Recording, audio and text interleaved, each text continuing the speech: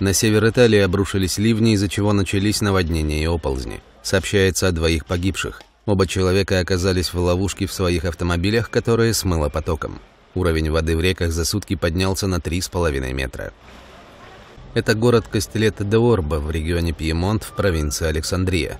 Здесь воцарился хаос после того, как местная река Рио-Албара вышла из берегов. Небольшой ручеек превратился в бурлящий поток с огромной разрушительной силой. Из-за наводнения в городке эвакуировали около 50 человек. Большая вода уже отступила, и местные жители вместе со спасателями убирают грязь лопатами.